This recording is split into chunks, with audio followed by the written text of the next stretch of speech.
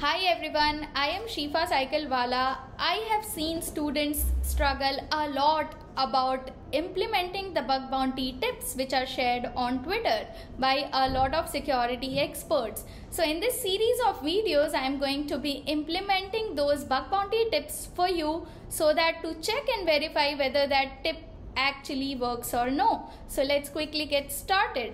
So here I am on my Twitter account where I searched for bug bounty tips and I got a lot of them. So out of which I am going to implement the first tip today which is shared by Rohit Gautam. So this tip is about finding out subdomains with the help of Wayback in three simple steps. So I'm going to do all the three steps and verify whether this tip works or no. So the first step is to download the script from GitHub which is given on this GitHub repo. I'm going to be opening this into a new tab and I'll go to the new tab and download the script first of all. So the script is getting downloaded here. After downloading this script, I'm quickly going to go and read the next step which is enter the domain name and the target of the website with the script so that to run it. So let's quickly go and turn on the terminal. I am on my terminal. I'm going to quickly drag and drop the script which I have downloaded from GitHub. Okay, so now I'm going to get my script from here. Now as I have my script, I'm going to quickly go in the downloads folder. Now I'm going to give the required permissions to my script with the help of CA and I am going to give the script name. It's wayback urls to subs.sh. Now I'm going to hit enter. In order to run any bash script, you need to write dot slash and then the script name.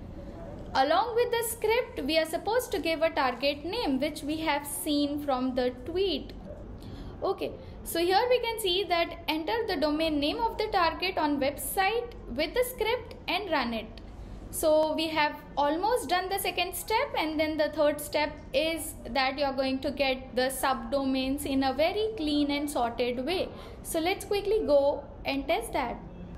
We are supposed to give a target name here. So I'm going to write hacktify.in and hit enter. Okay. So I can see a list of subdomains of the domain hacktify.in. It did not took a long time for me to get the results. It was quick, fast, clean and sorted.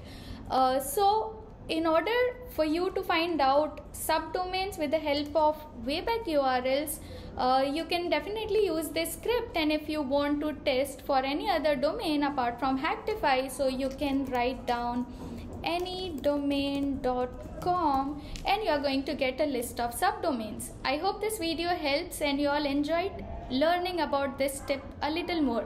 Thank you so much for watching this video. So this tip is a reality and it works. Thank you so much.